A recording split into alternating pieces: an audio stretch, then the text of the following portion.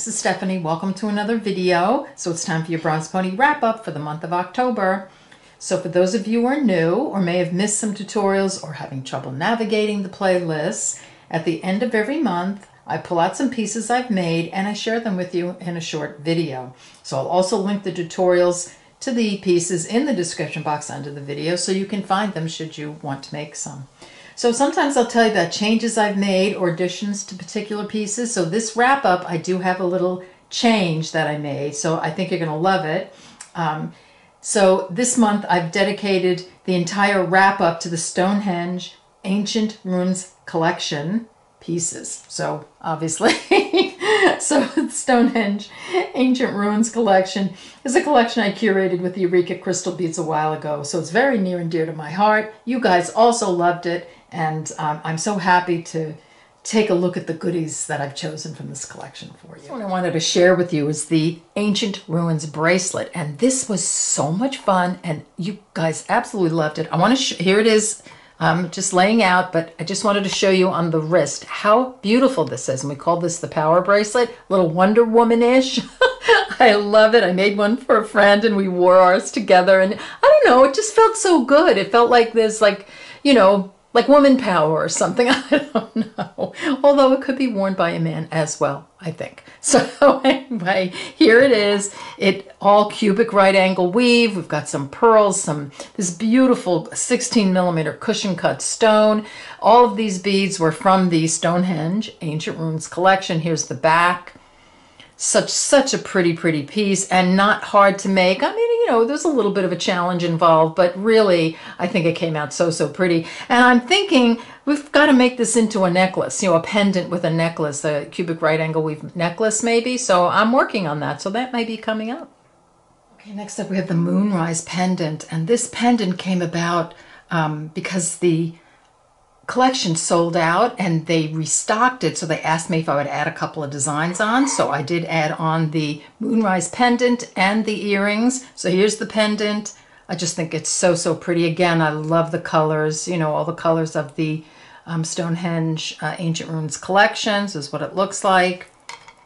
And then here we have the earrings because I know like, you, you know, most people like a go with or, you know, a little set. So these really pretty earrings. You can even use this small one as a pendant as well. We've got these beautiful drops. Now I believe the the Aeronite drops came with the um, collection, but I just used some purple ones I had here in my stash. So here's that little little set right there. Gosh, I love all that tanzanite and green. Isn't that pretty? Next up, we have the Morning Mist Wrap bracelet or regular bracelet. So here I made a regular one with beads from my stash and these are the colors from the collection here. So this is this is what it looks like and this was so much fun to make, really really, you know, just like different and and just fun to to connect these um, chatons and you know make these little bezels and such so really pretty you can do the single as well or you know you can add beads from your stash whatever and you can um, make a, a, triple would be pretty too, or a necklace. I never thought of the necklace. I could do a necklace as well, and actually put a drop. Maybe add one of these, um, the pendant to the necklace. That could be cool too. I wanted to, just because I'm, you know, I'm kind of intrigued that there are more things I can think of. Look how pretty that would look as a necklace for this for a pendant. So this is the earring, but you can use the huge pendant, the you know, the really big one, or just this one. Isn't that pretty?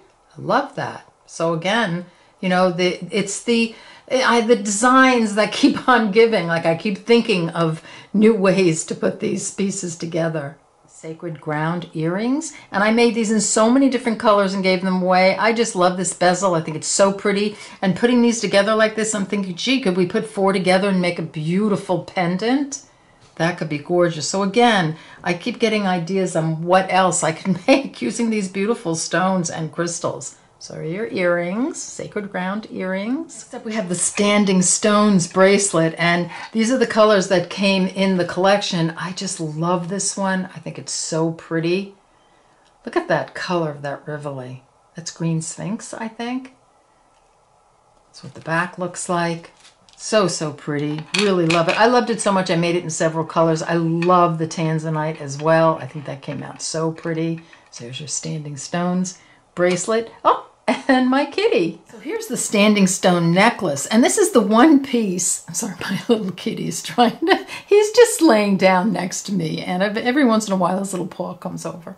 So the, the standing stone necklace is the one that I changed. And all I did here was is I added this drop. So originally, here's the necklace. And when you put it on, it's just beautiful just that way.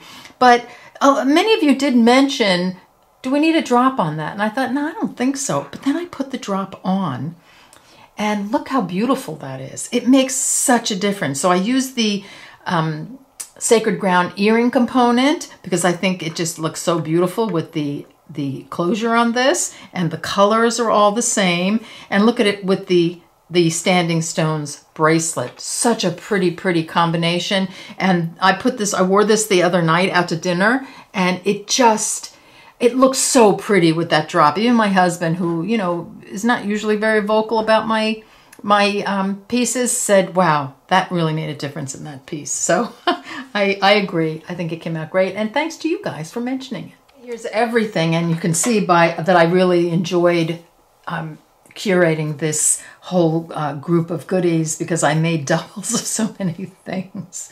But I really love the idea of putting that drop on again. Thank you guys for that.